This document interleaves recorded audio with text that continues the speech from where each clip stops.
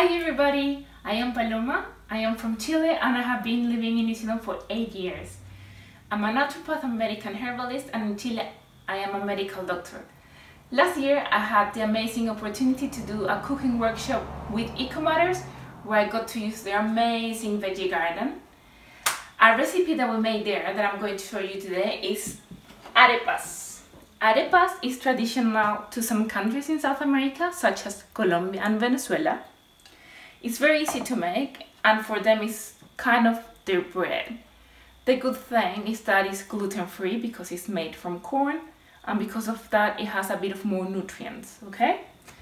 So we're going to use two cups of pre-cooked corn flour. You can buy it in New Zealand. A bit of salt, any other spice that you want to add, and two and a half cups of water. Then we can use a bit of oil if we want to fry them, or alternatively, we can put them in the oven, okay? A tip that a Venezuelan lady told me is that always put the corn flour first because sometimes you will need less water. Here I'm going to show you how it shouldn't be. So this one is very runny as you can see, okay? This one is very dry, but this one is just perfect, okay? So the consistency is like something that you can play with but it doesn't stick into your hands can you see?